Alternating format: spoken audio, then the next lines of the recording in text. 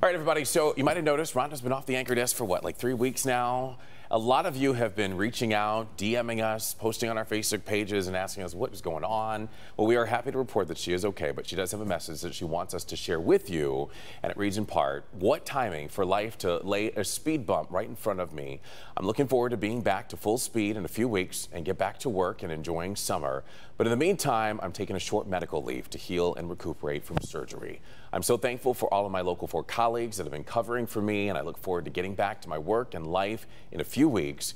And if you would like, you can read Rhonda's full message on the homepage of clickondetroit.com. But just from all of us, Rhonda, I know you're watching this morning. We want to say that we love you, and we are certainly hoping that your recovery is going very, very well. And we hope to see you return here very, very soon. And I miss you. Yeah, we do miss you. We wish her all the best. I had a chance to text with Rhonda back and forth a little bit. Mm -hmm. She's doing great, and she is watching, and she's watching. so grateful for all of the messages. Yes. So. Yeah. And if you know Rhonda, she I think she sleeps two hours a night. Like yeah. barely. So this is really different different for her right. to be at home just watching the news. Like so, forced to relax. Exactly. But it's actually kind of nice to think of her relaxing after yeah. crazy last 25 years. Right. Yeah, but for folks at home, there's no need to worry. No need to she worry. will be back very soon. That's right.